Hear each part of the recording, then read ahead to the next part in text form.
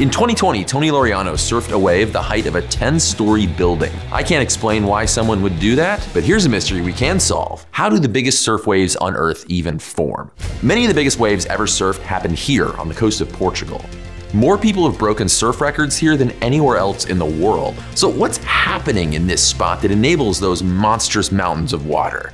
Well, the first ingredient, the Nazare Canyon, one of the largest submarine canyons in the world. This underwater canyon is nearly 230 kilometers long, reaching down 5 kilometers at its deepest, and it ends abruptly here at Nazare Bay. The difference of depths between the continental shelf here and the canyon here makes all the difference. Water rockets down the canyon's chute towards shore, refracting and converging as it bends along the walls. As it approaches the shore, it pushes upwards against those canyon walls, meeting neighboring waves above the shallower seafloor. The wall of water coming up from the canyon combines with the surface waves in what's called constructive interference, which means the two waves overlap to make a much bigger wave.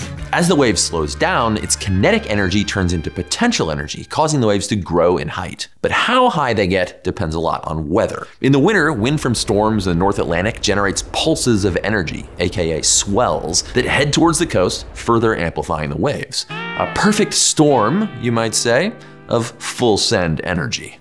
Follow PBS Terra for more videos like this.